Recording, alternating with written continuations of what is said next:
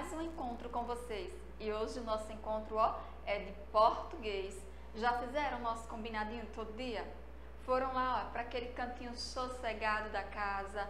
Ou então, é, se não pode ir para o canto mais sossegado, mas pelo menos ó, transforme a sala nesse lugarzinho mais sossegado da sua casa. Peça para o irmãozinho, para a mamãe, para o papai, ó, fazer aquele silencinho bem gostoso enquanto você está assistindo a nossa aula, certo? Gostou? Então vamos lá. Agora, ó, vou fazer uma brincadeira com vocês. Eu quero que vocês imitem o som de alguns animais que eu vou falar para vocês. E aí, vocês imitam? Imitam mesmo? Vai combinar que nós vamos, ó, imitar tudo certinho? Então tá certo. Agora, ó, eu quero que vocês imitem um gato. Primeiro animal que nós vamos imitar é o gato. E aí, imite aí, como é que o gato faz? Isso mesmo, ó. Miau. E agora eu quero que vocês, ó, imitem o barulho do cachorro. Como é que ele faz? Isso. Uau, uau. Agora eu quero que vocês imitem o cavalo. Quem sabe imitar o cavalo? Já imitou? Isso, muito bem. Fizeram o cavalo, ó, direitinho. Agora eu quero o leão. Como é que o leão faz? Qual é o rugido do leão? Isso, ó todo feroz. Agora eu quero que vocês imitem a vaca. Como é que a vaca faz? Isso, a vaca faz. Hum, hum. Ó, que interessante. Vocês sabiam que o som da vaca também, ó, é o som de uma letrinha? Sabiam? Estão lembrados que vocês viram isso, ó, lá na salinha de vocês com a sua professora? Lembram? Ó, qual é a letrinha que representa esse som, ó? Hum, ó, eu junto, ó, os meus lábios superiores com o inferior e ó, hum. Qual é a letra, lembraram? Isso mesmo, a letra, ó, M. Ela é quem representa esse som, ó. Sempre que nós vamos pronunciar uma palavra, ó, que tem essa letrinha, esse somzinho Hum, vai estar tá lá presente. Ó, vamos ver. Aqui eu tenho a palavrinha mala. Ó, hum, a, a, a. Mala. Olha o M, olha o M, ó. Mala. Perceberam? Que aparece, ó, o som parecendo a vaquinha. Mala. Mala aparece o somzinho da vaquinha. Quem representa ó, esse fonema é a letra M, ó. Uma letra bem bonita, bem bacana, ó. É ela que representa esse som. E aí, gostaram de relembrar esse fonema? Espero que tenham gostado, certo? Agora que já relembramos esse fonema que vocês já tinham visto, ó, lá com a professora de vocês, nós vamos agora conversar sobre outra coisa. Vamos conversar sobre sílabas. E aí? Vocês sabem o que é sílabas? Estão lembrados? Não lembraram? Então, ó, fique de olho no vídeo que vai passar aqui na tela, que você, ó, vai recordar tudinho e aprender algumas coisas mais bem interessantes sobre as sílabas.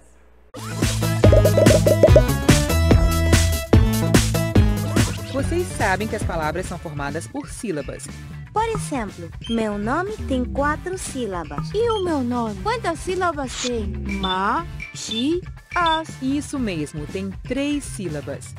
Vocês sabem que as palavras são formadas por sílabas e que as sílabas são formadas por letras. Mas como é que eu sei quantas sílabas as palavras têm? Uma sílaba é o conjunto de letras que se pronuncia em uma só emissão de voz.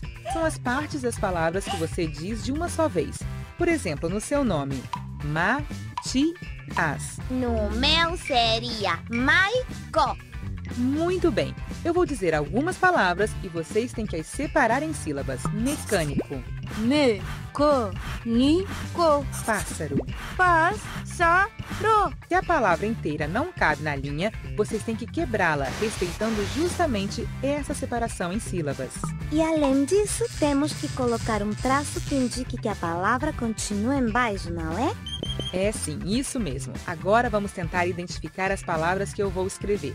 Qual de todas as sílabas é a mais forte, ou seja, a sílaba tônica? Lembrem-se que a sílaba que não tem o som forte chama-se átona. Vocês vão ver que quando separamos em sílabas, sempre há uma letra que tem um som mais forte, mesmo que não tenha acento gráfico. Nesse caso, dizemos que tem acento que soa nessa sílaba. Vamos separar em sílabas estes nomes. José. A última sílaba é a mais forte. Excelente. Luciana, faça o próximo. Cris. Tina. E aqui temos o mais forte é a ti, mesmo que não tenha acento escrito, e é a penúltima sílaba. Eu continuo. Patrícia. A mais forte é a penúltima. Mônica. E essa que tem um acento, que sílaba é? É a antepenúltima. Meus parabéns. Você sabe de alguma palavra que comece com a sílaba tá? Sei sim, tapete. Para que, Matias? Estou inventando um dominó de sílabas para brincar. Tenho que pensar em palavras que terminem com alguma sílaba, mas ao mesmo tempo em outras que comecem com essa sílaba. Gata e tábua. Apesar do que o tá de tábua leva acento e o de gata não. É claro, é que nem todas as palavras levam acento. Isto vai ser complicado, mas se você me ajudar, Tudo bem, eu te ajudo, mas você brinca comigo primeiro. O que é que você acha? ótimo, vó. Mãos à obra. Ei, inscreva-se! Não se esqueça de responder a pergunta e continuar aprendendo com os próximos vídeos.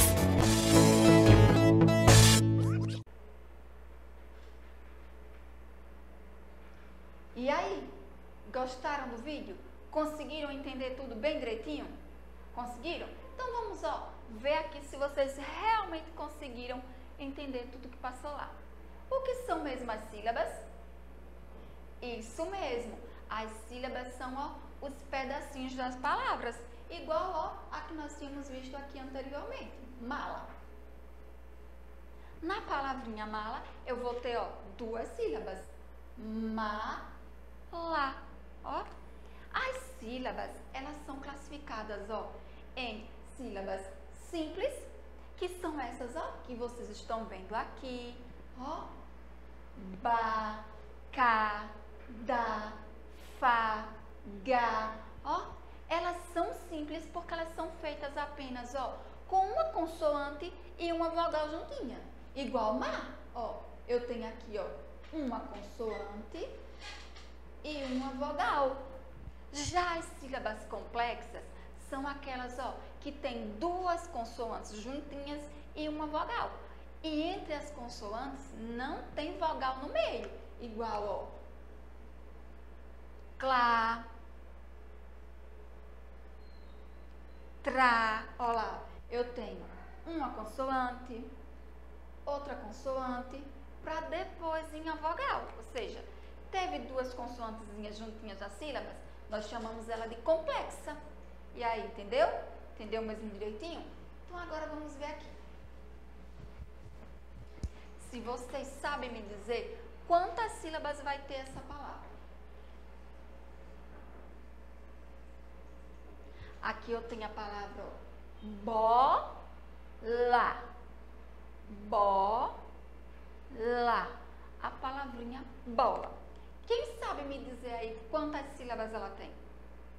Isso mesmo, duas sílabas, ó. Bo, lá. Duas sílabas. Agora, como foi que você descobriu que ela tinha duas sílabas? Isso mesmo, prestando atenção, atenção no sonzinho que é produzido quando falamos a palavra. Se as sílabas são os pedacinhos da palavra, cada sonzinho que a gente fizer quando estiver pronunciando as palavras vai ser uma sílaba, ó. Bo, lá. O primeiro som foi bo e o segundo foi lá. Ficou fácil agora, sim, de perceber? Então vamos ver outra. Agora eu vou colocar uma mais difícil para vocês.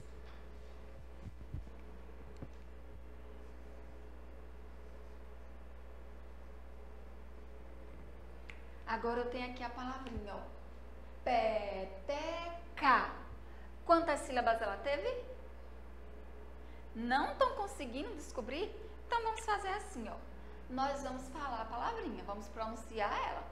Toda vez que vocês, ó, ouvirem um sonzinho, a gente bate, ó, palma. Uma palma para cada som que a gente ouvir enquanto estiver pronunciando a palavrinha, certo? Então vamos lá. Ó, a palavrinha lembra, é peteca. Vamos todo mundo junto pronunciar? Peteca. E aí agora? Quantas palminhas foram? Isso mesmo, três palminhas, ó. Porque ela tem, ó, três sílabas, três sons. O primeiro, ó, pé. O segundo, té. E o terceiro, cá. E aí, gostaram? Ficou fácil de entender agora? Muito bem. Essa foi, ó, a nossa aula de hoje, a nossa conversa de todo santo dia. E espero que vocês tenham gostado. O seu professor é quem melhor vai lhe orientar em uma atividade que você possa fazer com relação às sílabas. Cerramos por aqui o nosso encontro de hoje.